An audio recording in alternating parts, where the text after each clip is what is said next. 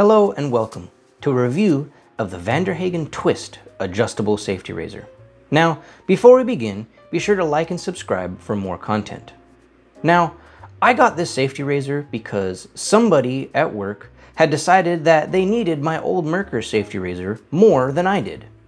And if you're unfamiliar, safety razors aren't exactly in abundance in stores, so this was the only option I had within a several mile radius, and it was the only thing that I could also get on such a short notice. Now, initial thoughts on this safety razor. The packaging itself had seemed like what you would expect. It wasn't like an iPhone or anything special. It did have some safety razors of the same name brand, which I'll review later, as well as a shaving butter. Now, this razor's claim to fame is its ability to adjust, meaning it can either open and expose the blade, meaning a closer shave, or it can close and retract the blade for a worse shave? Not as good, not as close? I'm not entirely sure of the mindset behind it personally, I feel like if you're trying to shave, especially with a safety razor, why give it a feature to have a bad shave? Why not just make it always good? Either way, I digress. The razor itself has a good weight to it, and the metal feels smooth to the touch. The method to install the razors is a little different than what I've experienced before, and I will mention that because you have to remove the top part with a minor push and the head is held on with what looks like some sort of cotter pin system. Honestly, it doesn't seem all that solid, at least in my experience with it, and I really think it was a missed opportunity to make a more solid method for securing something as sharp as a safety razor.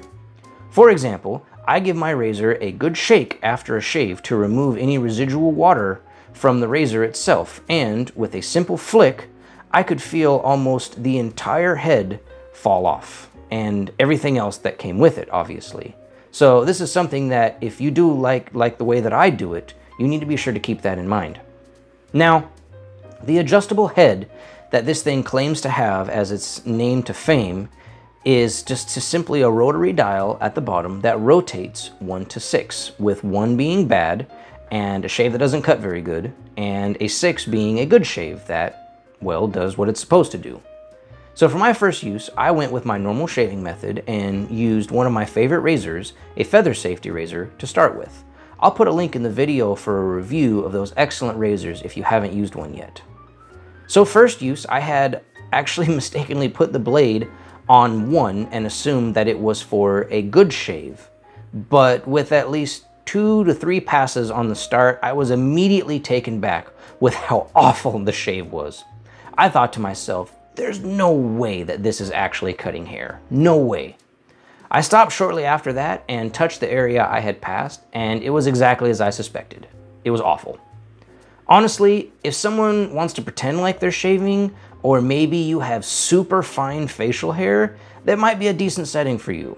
After taking that into consideration, I adjusted the razor to a 6, which I had hoped meant good shave. Man, was I underprepared for what followed. The smoothness of the metal was something that I had not taken into consideration when I started the shave. That caused the entire razor to move significantly faster across my face, which was a good thing, but I immediately had to change my shaving technique to account for it. Yes, 6 was the setting for a close shave. It was close enough to remove two chunks of skin along my neck, to be precise. I'm sure with continued use, this razor will probably give you the same experience, I guess, than a normal fixed blade one would. Now, one of the major cons I discovered to mention in this is these little holes at the bottom of the razor here. To me, they seem like drainage holes because that's exactly what they did. With my normal shaving technique, I would rinse the blade out after every pass, but this blade didn't need it. And that's a good thing, you might think, which I thought so too, until I realized that all the hair that I had just shaved had drained out of the little holes as, and was running down the bottom of my neck. I would definitely not recommend this to anyone if you have to shave in something presentable because you will definitely soil it. And again, it may just be my shaving method because I don't use shaving cream or anything like that. I went into the next shave a little more hopeful and a little more willing to experiment than I did on the first one. I changed the setting to a 4, assuming that it would have made it a little bit closer to the razor that I had previously.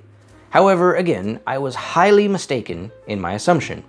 I spent the majority of my shave shaving normally, touching the area to see if it was actually cutting, and then repeating. After a few passes, I had again changed the setting to a 5, which seemed to cut again that yielded better results than the previous setting, obviously. So I'd certain that I'd be able to dye it in correct at least soon. I, again, must admit my frustration of having everything drain out of these little holes down here in the bottom instead of collecting inside the razor. Seems, again, like a very poor design in my opinion. With the next shave, I could finally feel I was starting to understand how this razor actually worked.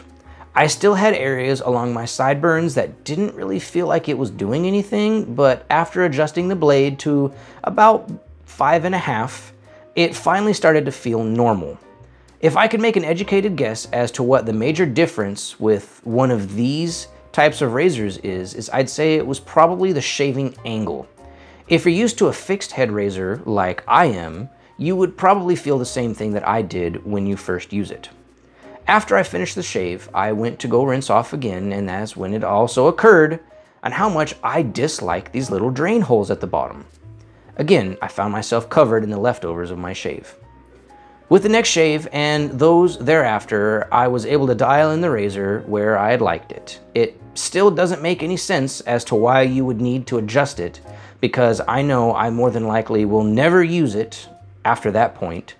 To me, the razor is going to be one that I use probably not on a very regular basis. It's going to be more of, say, an emergency razor or a travel razor because if I lose it, I'm really not going to be too upset by it.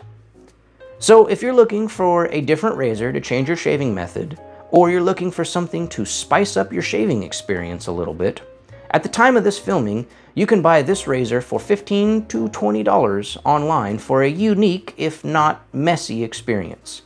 There are better options out there for less money that will probably provide the same, if not better, experience. Thank you for watching. Let me know your thoughts on the Van Der Hagen twist in the comments below. Thank you.